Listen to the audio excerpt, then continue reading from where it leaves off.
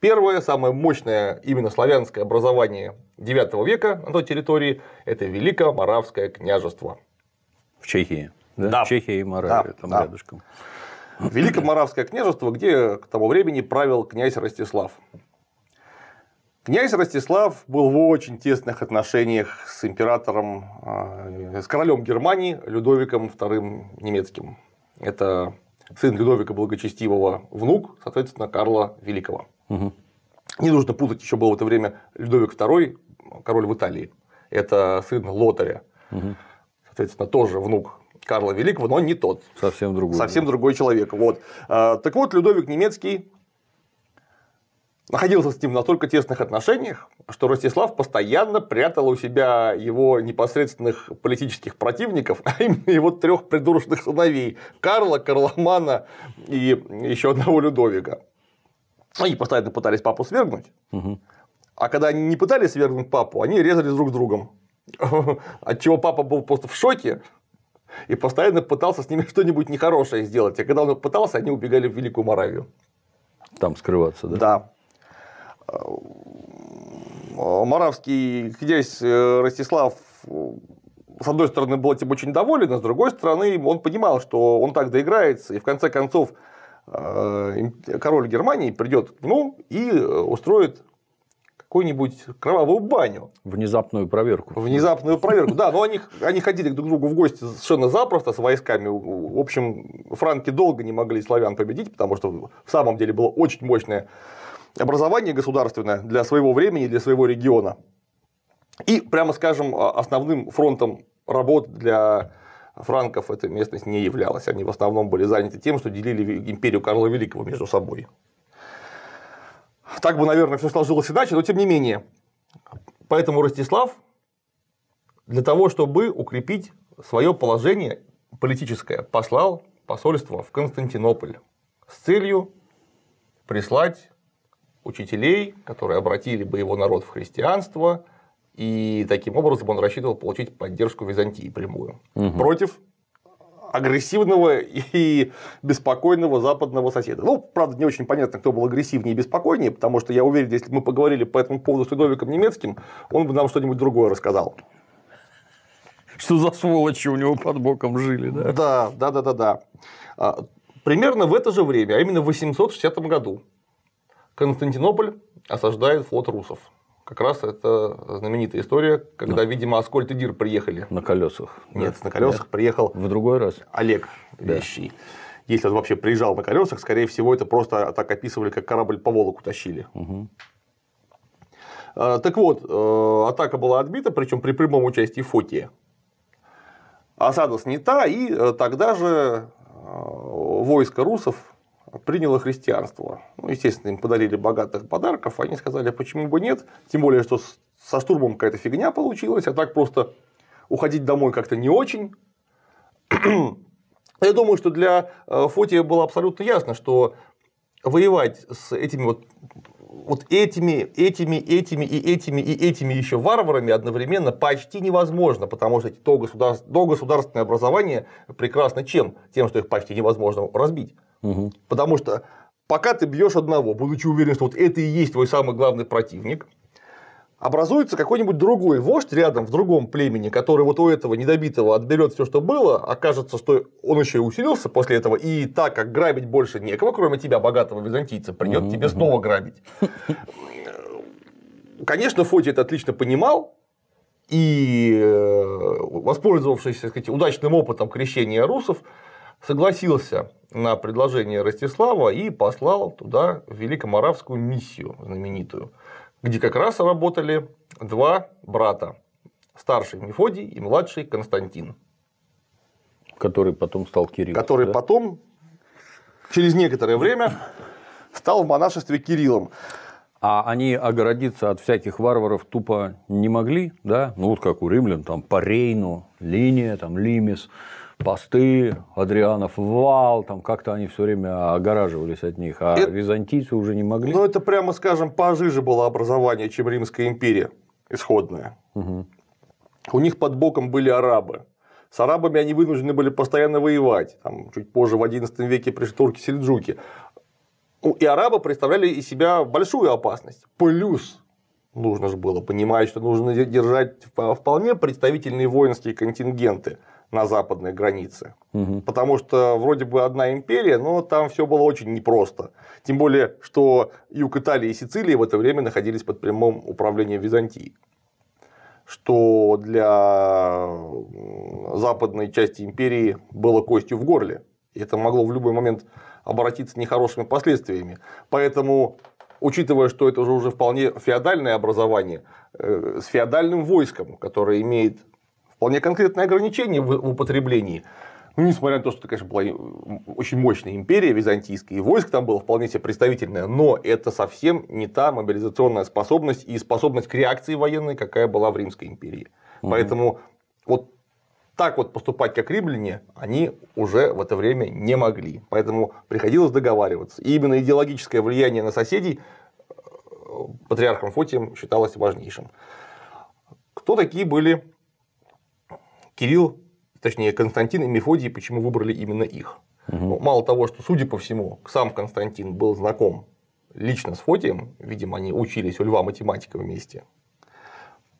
Оба они происходили из Фессалоник, из Салунии, и были они славянами-македонцами.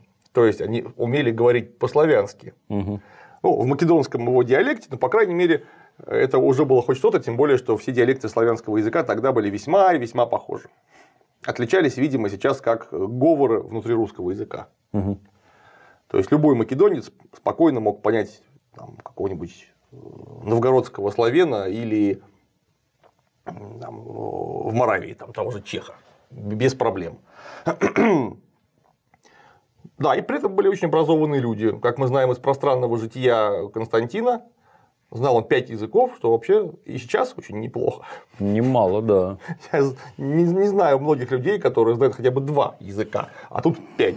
В общем-то, немногие даже один-то знают нормально. Это факт. Многие даже свой-то не знают. Да, да.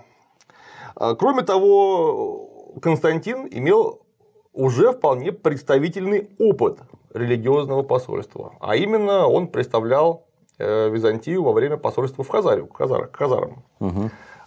И есть мнение некоторых ученых, что уже в это время он начал работать над составлением славянской азбуки. Видимо, как э, частная инициатива. Угу. И оказавшись в Моравии, за очень короткий промежуток времени э, и Константин и Мефодий, там буквально они оказались там в 863 году, и буквально за 6 лет они успели перевести основные библейские книги, перевести весь литургический чин, то есть э, то, как ведется служба, потому что служба бывает разные, вечерние, там, заутренняя, э, праздничная, э, рядовая и прочее, прочее, это все нужно было перевести.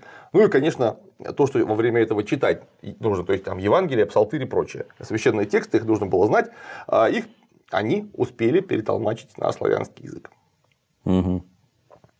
Вот мне кажется, что правы те исследователи, которые говорят, что работа началась несколько раньше.